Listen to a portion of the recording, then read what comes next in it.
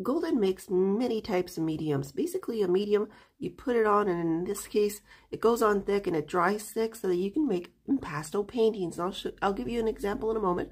And then you would use palette knives to spread around the impasto, let it dry, and then cover it with acrylics.